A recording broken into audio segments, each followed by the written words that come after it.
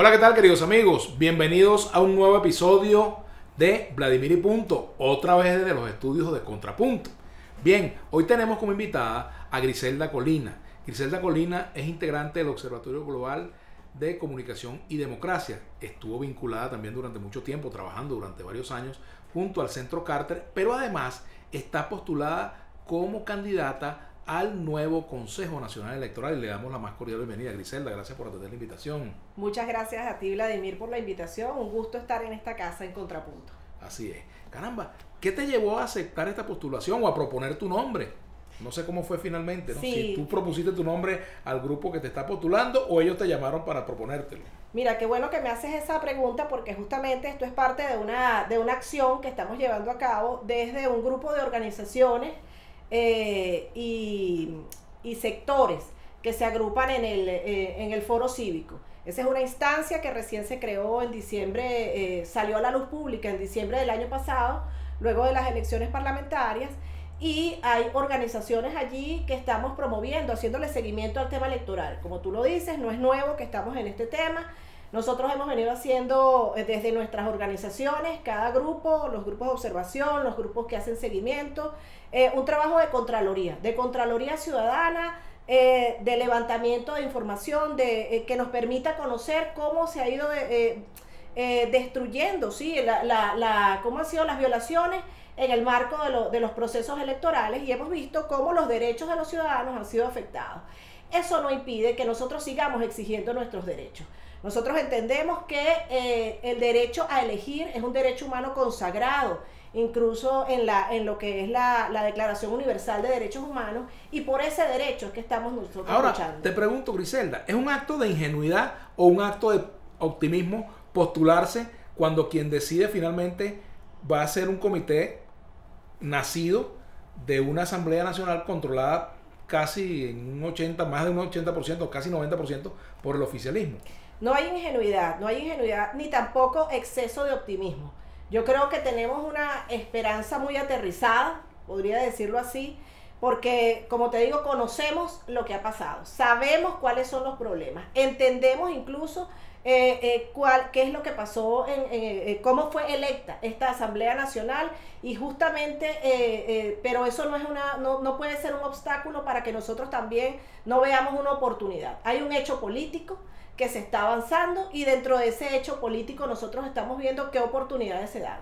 En ese sentido, ¿El gobierno necesita un Consejo Nacional Electoral plural? ¿Lo necesita o le conviene? ¿O ni le, ni le interesa ni le conviene? Mira, al país, al país le conviene, un, necesita un Consejo Nacional Electoral que funcione, un arbitraje que sirva y al país le interesa, necesita también eh, avanzar, que avance un proceso electoral, no como se hizo esta de las parlamentarias, de manera unilateral, que sea parte de un acuerdo político. Aquí la negociación política tiene que estar presente. Nosotros estamos conscientes, Vladimir, y nosotros estamos poniendo nuestros nombres. O sea, yo soy postulada, pero yo también postulé con mi organización. Entonces, cuando tú me dices, bueno, eh, tú eres ingenua. Mira, yo soy una persona responsable, consciente de mis derechos y de lo que yo puedo hacer. Y en este momento, viendo todo lo que ha pasado en este, a lo largo de estos años, nosotros no podemos hacer otra cosa sino decir, bueno, esta es una oportunidad, postulamos gente al comité de postulaciones, tenemos a dos personas allí de sociedad civil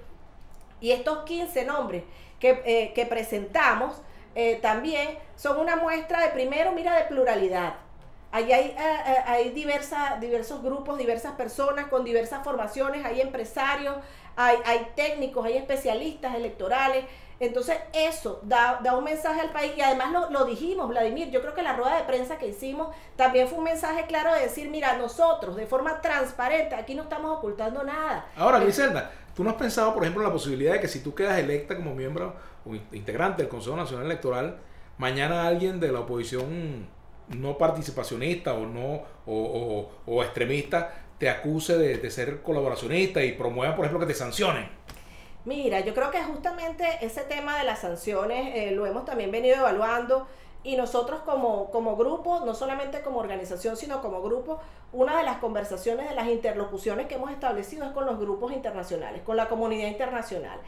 Y, por ejemplo, en el caso de, de estas últimas sanciones que se dieron a de la Unión Europea O sea, yo creo que eh, uno debe... Sancionaron incluso un miembro del CNE. Sancionaron a un miembro Leonardo Morales. como no. Y entonces allí yo creo que la sanción, justamente lo que hemos conversado con estos actores internacionales, es que la sanción es por el desempeño, no por el rol. No se sanciona a, a una persona por ocupar un cargo específico, sino por el desempeño que tuvo. Y, y nosotros debemos decir que el desempeño de este señor no fue el mejor, que ciertamente su labor contribuyó a violaciones de derechos.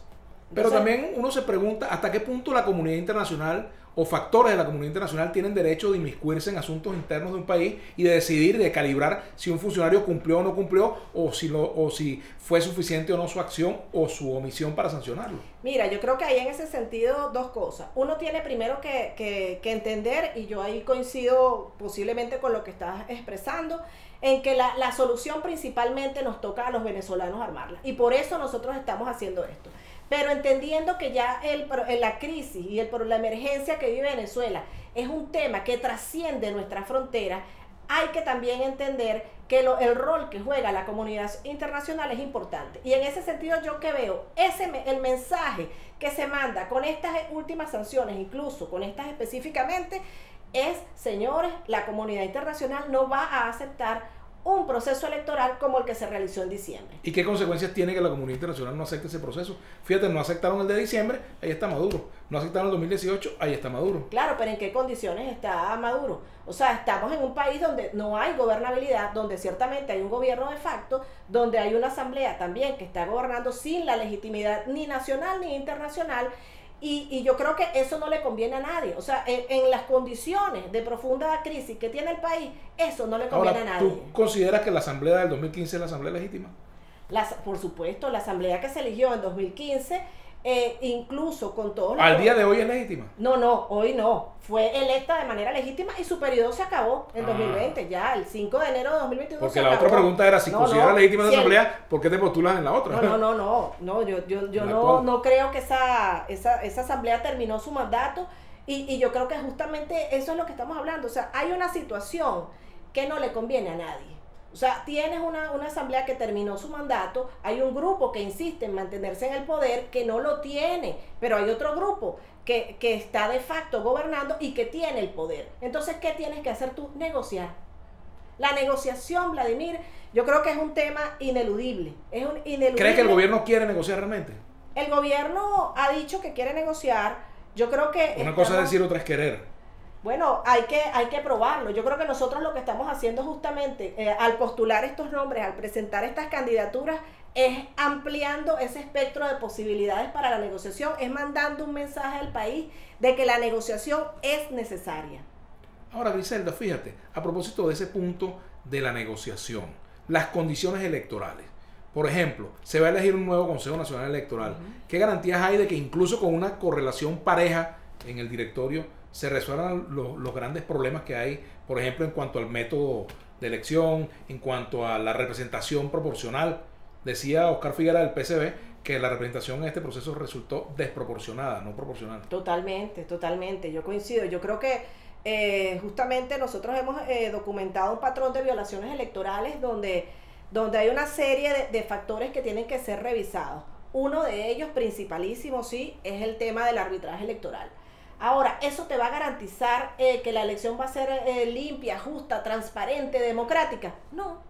Tiene que haber muchas otras condiciones. Las condiciones se van a lograr en dos días, en un año, en un mes. No, Vladimir, tampoco. O sea, el deterioro que ha sufrido el sistema electoral en Venezuela es grandísimo, Ahora es también, profundo. ¿en, en qué medida, aparte de las responsabilidades que tienen quienes controlan el poder en Venezuela, en qué medida las posturas atencionistas tam- también no han colaborado con, con, esa, con ese deterioro? Bien, ese es otro tema. Yo creo que primer, lo, lo- pero no, no podemos equiparar una cosa a la otra. O sea, yo creo que Pero no se puede negar una. No, ni no, no lo, no lo niego, no lo niego y yo creo que toca eh, ciertamente eh, al- al- a la oposición política entusiasmar, recuperar y retomar ese camino electoral que además le ha dado muchos frutos. Pero eh, yo creo que lo principal es entender, bueno, dónde están las falencias eh, poder trazarse un camino donde la reconstrucción sea posible, donde lo veamos paso a paso y que la gente entienda, el ciudadano, eh, Vladimir, que hoy está sin esperanza, sin posibilidades, que en diciembre no sabía por quién votar. Bueno, que, que en los próximos procesos, cuando se elijan gobernadores y alcaldes, tenga caras, tenga opciones y sepa que hay una gente, una sociedad civil, unos, unos partidos políticos y un, un, Estado trabajando en función de que ellos puedan... Griselda, tú estuviste en el Centro Carter junto a Jennifer McCoy, Héctor Banoli y otros integrantes de la misión del Centro Carter en Venezuela. Pudiéramos decir que el Centro Carter nos abandonó. ¿Por qué se fue el Centro Carter? Eso fue en, en 2015. Yo creo que, que, la historia y, y, la trayectoria del Centro Carter en Venezuela había cumplido un, un tiempo. Eh, yo creo que es valioso lo que dejó el centro, incluso yo aprendí muchísimo con ellos y, y, yo creo que parte de lo que estamos haciendo incluso como sociedad civil tiene que ver con eso que yo aprendí, o sea, en el observatorio. O sea, el, eh, yo no diría que nos abandonó, yo diría que cumplió un ciclo, que cumplió un ciclo donde vio que ya incluso eh, eh, los actores políticos ya no, no permitieron que, que, que hubiera un, mayor avance. Yo creo que por eso ahora se está retomando, fíjate, el tema de la comunidad internacional desde otra perspectiva una de las cosas que nosotros estamos también proponiendo es que, oye, que haya un diagnóstico de, de, de, de, la Unión Europea o de Naciones Unidas en el tema electoral. Yo creo que eso es importante. ¿Crees que puede volver el centro de Venezuela o no tiene sentido que vuelva allá? No, tendría mucho sentido, pero la verdad es que no, no sé si... condiciones. No, no, no, no, no sé si ellos internamente eh, tengan las capacidades y, para poder estar aquí en Venezuela, la verdad. Ahora, fíjate, Griselda, también es interesante saber el proceso, por ejemplo, de entrevistas. Ya tú fuiste al sí. comité de postulación. Ya terminaron las entrevistas. Ajá, ya terminaron esas entrevistas. ¿Cómo fue ese proceso? Cuéntanos un poco las preguntas, la, Mira, el comportamiento del comité de postulaciones, cuáles son las inquietudes que ellos sí. tienen frente a un candidato al CNE o a una candidata. Sí, yo pues debo decir que la, las entrevistas es primera vez que yo me postulo a, a, a, este tipo de cargos. De hecho, yo nunca he trabajado en administración pública. Y, y me pareció muy, muy cordial. Fue con cuatro de, la, de los miembros del comité eh, tres diputados y uno de la sociedad civil. Y fue muy cordial. Ellos están tra trataron de, de, hacer, se dividieron por grupos y, y, nos iban entrevistando a cada uno, alrededor de 20 minutos cada entrevista. Eh, las preguntas tenían que ver sobre las motivaciones, la formación que teníamos en el tema electoral, qué nos motivaba a estar allí e incluso cuáles serían esas condiciones. O sea, yo creo yo fui muy franca, muy abierta con ellos yo creo que eso también se agradeció e igual todos los, los 15 postulados de, de que, que lo, lo, lo, postulamos en nombre de, del foro cívico, pues lo, lo hicimos todos de esa manera, tenemos la misma, la misma sensación pues después de la entrevista. Supongamos que estamos ya en la fase en que ha sido designado el Consejo Nacional Electoral y tú estás en el directorio. ¿Cuál sería el primer punto que tú pondrías en la agenda? Mira, eso fue una de las preguntas que me hicieron justamente, Ajá. que si yo llegaba, ¿qué, qué podíamos hacer? Y, y, yo le dije que, claro, son tantas las cosas que hay que hacer, pero yo creo que uno tiene que irse a los principios. Y para mí el principio de transparencia es fundamental. Es fundamental para poder avanzar cualquier paso en, la reconstrucción de un CNE, de un Consejo Nacional Electoral, de un poder electoral que ciertamente le sirva a los venezolanos. Empezar con transparencia, empezar a decir qué es lo que está mal, qué, de repente qué cosas buenas quedan eh, cuál es el, el, el aparato eh, incluso humano que tiene ese CNE, eso se desconoce, Vladimir. ¿Cómo están esas oficinas regionales? Muchos de los trabajadores nos dicen que eso es un cascarón vacío. Ajá, pero fíjate lo siguiente, ese ha sido uno de los órganos del Estado venezolano donde la mujer ha tenido mayor presencia y, y han sido predominantes, la mujer en los últimos años en el Consejo Nacional Electoral. Eso echa por tierra la idea de que con las mujeres la cosa funciona mejor. ¿O qué Al pasó contrario, ahí? yo creo que una cosa es eh, tener mujeres y otra cosa es tener mujeres que lleven una agenda de género. O sea, cuando hablamos de una mujer que lleva una agenda de género, tiene que ver con los temas que nos preocupan a las mujeres, no solo y, y con la activación de, los de las mujeres en la política. ¿Dónde está ese CNE publicando cuántas mujeres habían sido postuladas? ¿Dónde está ese CNE diciendo cuántas mujeres quedaron en cada uno de esos procesos que se llevaron adelante? Eso nunca se vio. ¿Dónde está una real ley diciendo, bueno, la cuota de género va a volver? Esos fueron puros exhortos. Entonces, hubo un real trabajo en, en, función de lo que es la, la, equidad de género. Para mí no lo hubo. Eso es un tema pendiente. Fíjate, pero también está de por medio el problema de los partidos, ¿no? El peso que tienen los partidos todavía en la toma de decisiones, no solamente con respecto a la mujer, sino con respecto incluso a la democracia interna. Hay quienes le critican a la oposición venezolana que demanda democracia pero no la practica en el seno de sus partidos. Pero justamente yo creo que este momento y, esa destrucción, ese deslave que hemos venido nosotros eh, eh, documentando en el tema de los partidos políticos es evidente. O sea, los partidos no, es, no son lo que eran ni siquiera en 2015. O sea, esos partidos están hoy destruidos, apartados, eh, pero yo sí creo también que tienen oportunidad de cara a lo que nos toca. Bueno, ¿cómo, cómo toca ver la, la, participación de las mujeres en, el ejercicio de la política? ¿Cómo toca renovar esas caras, asumir que ese liderazgo político eh, tiene, tiene, tiene participación hombres, mujeres, gente joven, que le, le muestre al país eh, una cara diferente, una, una acción diferente, y yo creo que los hay. Hay gente que tiene esa disposición y que las tenemos al lado, y que todavía hoy no han encontrado forma de, estar y de, ejercer la política directamente a través de los partidos. Si llegaras a ser integrante de la directiva del Consejo Nacional Electoral, allí va a estar la asamblea con mayoría del oficialismo.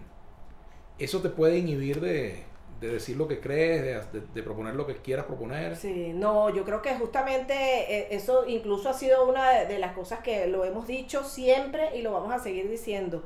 Eh, esta es una tarea donde nosotros tenemos que eh, decir lo que está mal, y, para, y tenemos que decirlo para poder reconstruirlo. Si tú no reconoces lo que está mal, si tú no reconoces lo que no funciona, ¿cómo lo vas a cambiar?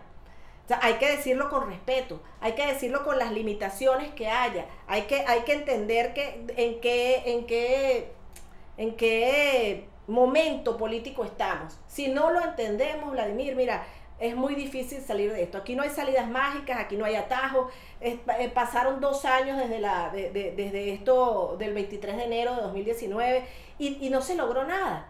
No se logró nada porque no había una agenda real. Una agenda real incluye eh, eh, que la, participación política sea plural, que donde el, chavismo tiene que existir y es válido que exista, pero donde no se pueden permitir violaciones a los derechos humanos, donde no se puede permitir que no haya justicia, donde no se puede permitir que los derechos de los venezolanos sigan siendo conculcados.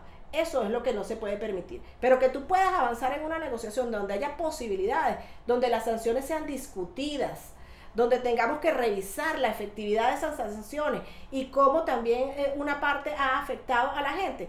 Yo sí creo que eso es ¿Has conversado sobre tu postulación con factores de la oposición que no quieren participar, con factores que cuestionan la ruta electoral? Mira, nosotros, eh, como te digo, este grupo en el que nosotros encontramos, nos encontramos desde el foro cívico, eh, nosotros hablamos constantemente con los partidos políticos. Esa es una conversación que tenemos donde además les explicamos y les afirmamos que esta acción no busca usurpar el rol de los partidos políticos. Estamos sí impulsando y abriéndole camino para que justamente esos liderazgos políticos el que tenga la decisión de participar pueda hacerlo y sepa que vamos a acompañarlo en esa reconstrucción de la ruta electoral. Y desde fuera, de la comunidad internacional o de factores de la comunidad internacional con los que ustedes conversan, les han dado el visto bueno, les han dicho, nos parece bien que se postulen, ¿O han tenido alguna crítica? Mira, no, no esperamos visto bueno ni de los partidos políticos ni de la comunidad internacional. nosotros, tenemos una, nosotros tenemos una, una posición autónoma, independiente, y en ese sentido sí eh, informamos y decimos lo que estamos haciendo.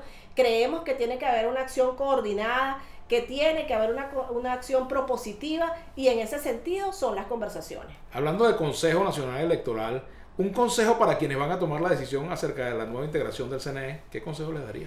Mira, el consejo es que, y, se lo dije también al, a ese comité, yo le dije que el, eh, ellos tienen un rol importantísimo en sus manos, que tienen que tener conciencia del rol histórico que les ha jugado, eh, eh, que les toca jugar en esa Asamblea Nacional, que ciertamente está cuestionada, pero que tiene que nombrar a un CNE que responda a la realidad del país, que genere confianza, que le diga a la gente que mira, estamos dando un paso firme hacia la reconstrucción democrática, hacia la reinstitucionalización del país, porque es necesario para todos. Griselda, te agradezco mucho que nos hayas acompañado. No, muchas gracias a ti, Vladimir. Y a ustedes, queridos amigos, los invitamos para un nuevo episodio de Vladimir y punto, por contrapunto.